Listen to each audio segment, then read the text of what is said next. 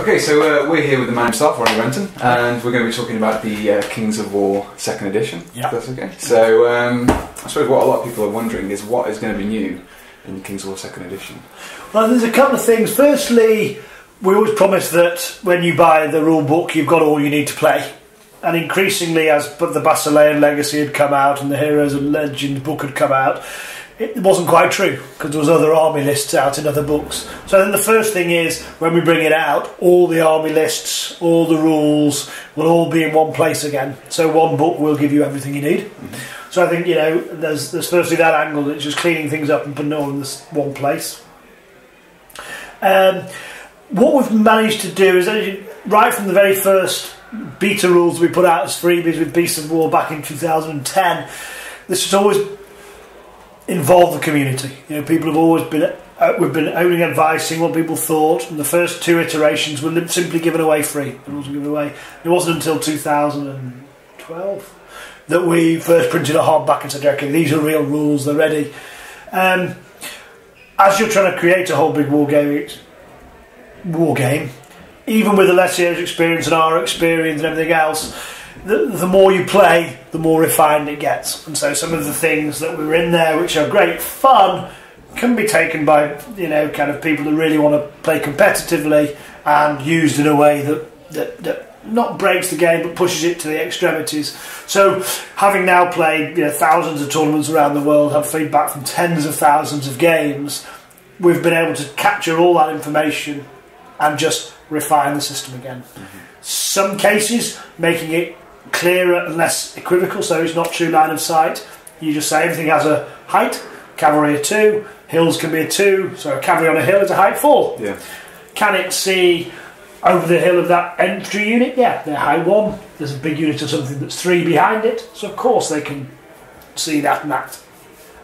Um, it stops those kind of the large trees that you get on a wargaming table blocking line of sight to a giant from something behind it. You say, come on. So there's, there's areas where we've been able to just make it really easy so competitive players go, that's a hill two, that's a hill two, that, that easy. And casual players, it just never comes up because it's so laid out. So we've been able to take the experience, clean things up, make it even more simple, more intuitive, more quick, faster. Um, and then we've been able to go back to all the armies and start adding new units and adding new bits and bobs as well. So lots of stuff. So I think probably I played my first game of Kings of War today. Um, What did you think? It was excellent. Really easy to pick up, really easy, uh, quick game to play. I mean, Yeah. we played quite a big force against each other and slaughtered with ogres, so Right. that's always good. Yeah. Um, but yeah, I know- I understand what you're saying with the the new system of the heights. Um, Yeah. The game's pretty simple anyway, but you just make it that much more simple. Yeah. So I think that's probably the, for me, it's probably definitely the biggest factor. You're just someone who doesn't have as much time to play games. You can just set it up, get going. And I think now we're all, you know, we're all grown up with toy soldiers. You know, when, when games were first written 20 years ago, you know, Warhammer and other game systems, historical games, have all grown and but they've started from a place. We had a clean sheet of paper when we started, so we say, well, you know, we have to go through five iterations of it and really be still stuck with the same things. We said, well, no, what can we learn? And you know, to get to combat resolution, there's there's there's one less dice roll because we've been able to factor those two things into that stat, and we can take out. So yeah, it, it, it, I think when people say simple, but it's not simplistic. No. It, it, it, still has character. It still feels like a war game, but it's about flanking. It's about manoeuvrability. It's about the miniatures on the gaming table, not the army list that's off it. Yeah, you can concentrate on actual strategy rather Strategy than memorising the rules. Yeah, I remember when I said to Alessio, no, when they hit him in the flank, double. If hit him in the rear, triple. Mm-hmm. What? I said, yeah, because that's the point. Is you've got to break, so you've got to cover your flanks. Mm-hmm. And in that type of, because it is essentially, it's historical, but instead of it being, you know, French line infantry versus grenadier guards, is actually orcs against ogres. So you've got all the character that comes with fantasy, but essentially with a with a historical bent in as much as it plays in the same way that it's about breaking the other person's resolve to stay on the battlefield. Mm-hmm. It's not killing and not victory points, it's getting around the flanks, breaking some of their units, and therefore the rest of their army goes, okay, we're, we're finished here, aren't we? And the cavalry will just start hitting. I suppose it kind of comes back to the whole thing where probably conventional uh, block infantry just consists of multiple infantry, but this is just you can just set them all up in one one group of infantry. You don't have to mess around setting up. No, exactly. Taking figures people. and you know my own army now. It took me a while before I broke the habit of putting 20 mil bases onto movement trays. But as soon as you do, it's very liberating. I just Yeah. realised I'm never going to play that game again. So I can put my and you just mark them up with wounds, and it's about keeping your army as a fighting force. So when that unit doesn't break, it's still there for one more turn. It's still an effective fighting force, and that slams into your enemy, and you know potentially does the damage that gets them to break. It takes away the kind of um, the micromanagement that Correct. goes in, which is often what takes a lot of time. Yeah, So- and it's the strategy. That's the whole point, but- but- and that's why it scales up. So even if it's an eight thousand point battle aside, you will play it in three hours, and you'll have a decisive result because the amount of damage that's going to and forth, the manoeuvrability starts opening up, and so it plays from five hundred points to fifty thousand points, and um, it will scale. You will enjoy it because you never get into the micromanagement. yeah. It is, it is, it is an epic scale game, and um, and we love that. We, we encourage that. And when the army starts to break, as, as battles were resolved in those days when people threw their swords down and legged it, it has that same dynamic. That big unit, that horde, that's hold your middle. It's still there for one more turn. Good way of attacking units can keep going. Yeah. That breaks. Suddenly, my small attacking units look weak and look look in trouble. I think it also kind of brings that kind of aspect of the uh, the heroics that can happen. The, Yeah. the you can have a unit that's uh, literally on the brink of breaking, but it can still. Well, I was doing some of those general ones. We were playing, you know, with named characters for a bit of fun, and um, pretty much, you know, he'd come across the battlefield. We were, it was really, really close, and I did a load of damage on his uh, ogre general, and uh, I rolled a three. He stayed on. Crumbs, Okay. Hit him again the next turn. Absolutely, there's no way he can stay unless you roll double one. I mean, it, I think his damage is already over his nerve, and I rolled double one and it, that just gave him. He tied up my general. If it, that's it, if he'd gone the first time, and my general could have run in, supported with the other one with a cannon supporting across there, and it would have been a decisive victory. Mm-hmm. He stays another he- that heroic battle. It's not. It's not changing the face. He's not killing whole units. No. He's just standing there battling away, holding up a point, stopping my guy getting in. Mine doesn't quite die, but his doesn't, and that means that it just holds. So I mean, as well as the second edition rules, there's also some new infantry, but most infantry, uh, probably interesting is the new abyssal forces. Yeah.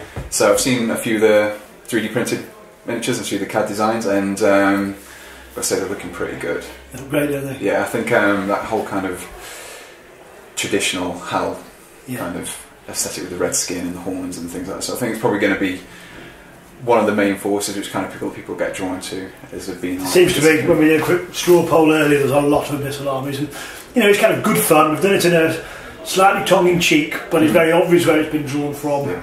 Um, the other forces are know, Yeah. they're baddie, but it's not.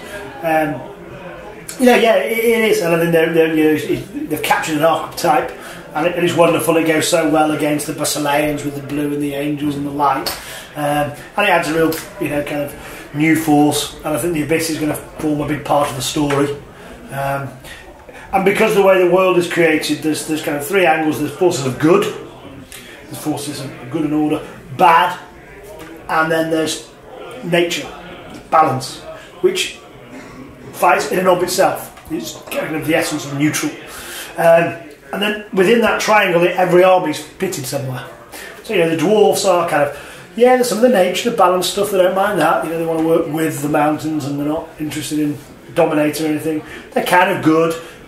But there's a little bit of, you know, greed in them for the gold. It's just there. Of course, when they go too far, they end up being overtaken by the greed and then become abyssal dwarfs.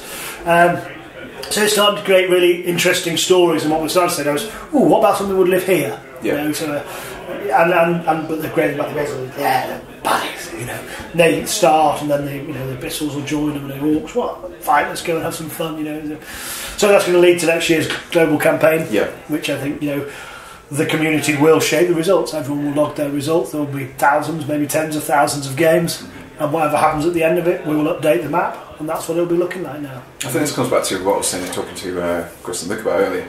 Um, Mantic does have a lot of engagement with the community, and I suppose this is reflected in the way that your campaigns will work. Yep. So I suppose it- it's kind of it comes back to that whole kind of thing where you can just sit there and ignore the people who are buying the games, or you can listen to them and the feedback. And obviously, this is why part of the reason why second edition has come about. Yeah. So I think probably with with kind of overview of the rules, the new rules, new forces, new units, what would you say is the thing you're most looking forward to? Well, I think two things. Um, a, just gaming Kings of War again. Yeah. It was the first thing we did. And then with Kickstarter, with Dreadball and Deadzone, they kind of really took off 750,000 and, uh, you know, a million two and Deadzone. A, a lot of stuff's happened which has opened up the Warpath universe. It's fantastic, but it's really nice to come back and just, I'm just properly building my dwarf army. Kind of not doing a skirmish game, doing a big war game. It's a big commitment from people, but I think people are ready to look at Mantic in a new way. And the most exciting thing is a few years ago, the, oh, it's, a, it's, a, it's just like Warhammer. Mm-hmm. Then slowly someone would try it and then they'd come up and they'd go, which noise is different? Yeah, we've been saying it's different. Yeah, it is different. Blood Bowl was what Dreadball was like to do, but it's not. You know, it's the same. If, if, if chess is like checkers or backgammon, well, you use dice and you use pieces on a board. You know, that's how Dreadball is like Blood Bowl. Yeah. You know, there's sci-fi, there's fantasy. You know, this is very quick. It's very dynamic. There's a few players on it. You don't set up between things. All, um, but that was less difficult to try. Mm-hmm. So a lot more people tried Dreadball and went, "Oh, it's really different, isn't it? Oh, okay, I get it now." I think now we can go along and say, well, why don't you try Kings of War then? Yeah. And they know that when we say it's different, they'll go, it is different. Is it going to be different than the way Dreadball was? Yeah, I'll give that a try. I mean, I'm probably uh, prime example of that. I've played Warhammer Fantasy in the past, yep. and I've kind of got bogged down with the rules, and new rules sets have come out, and I've just forgot it. Yep. And I played a quick 15 minute game, and yeah. I know quite, I know enough of the rules to get going. Going and you can get it, and you can read, and it can start to happen. And I think that's so. What I'm really excited about is it's going to give people a new, fresh chance to look. When we did Kings of War, you know, we've been funding soldiers, and we're growing slowly. With this, with the funding we've got, you know, predominantly for the book and the Abyssal Army, we can really do a great high production quality job. So when people do look, they'll go, "Wow, this is amazing! It's a lovely book in and of itself. There's loads of background and IP, and it's a great clean system." So if you've got an army, just really have a go. Okay. Well, thanks a lot. Uh, for speaking to me. Um, we'll do some coverage of Kings of War soon, so we'll no doubt be back in touch in the future. Forward and we look forward to the uh, second edition. Great stuff. Thanks. Thanks a lot.